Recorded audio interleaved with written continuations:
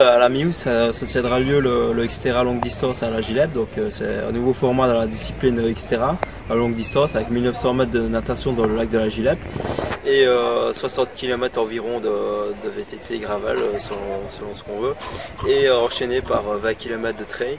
Donc la partie VTT ou gravel, parce que je dis VTT ou gravel parce que les participants auront le choix de choisir entre de prendre un gravel ou un VTT selon leur envie. Mais moi j'ai eu la chance de reconnaître le parcours et euh, personnellement je préfère choisir le gravel parce que ce sera euh, le début, les, 15-20 premiers kilomètres, c'est je dirais que c'est un petit avantage pour le VTT car c'est un petit peu technique et un petit peu de, racine mais ça passe très bien au gravel quand même. Euh, c'est juste que ça se un petit peu par moment et il y a une côte qui de toute façon que soit en gravel ou en VTT il y a des chances qu'il faut pousser le vélo car c'est une centaine de mètres.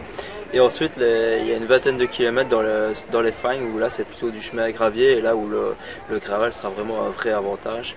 Et sur la fin aussi ça reste roulant donc euh, dans l'ensemble je pense que le gravel sera le bon choix. Donc ce sera quand même fort rapide mais maintenant c'est une belle région. Euh, c'est fort, il a pas, on trace quelques routes mais c'est fort euh, des paysans. Il y a des, beaux paysages dans les fines là au milieu de nulle part c'est vraiment joli. Donc il y en aura pour, vous allez en prendre plein les yeux.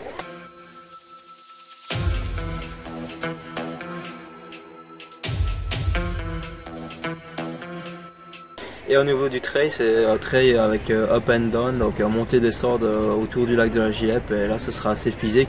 Pas de long cône, mais chaque fois monter, descendre, monter, descendre. Et ce sera quand même amusant, surtout après les 60 km de gravel VTT. Mais ça s'annonce bien. C'est une belle région, c'est près de chez moi, je connais bien. Et vous allez voir, ce sera, ce sera sympa. Ouais.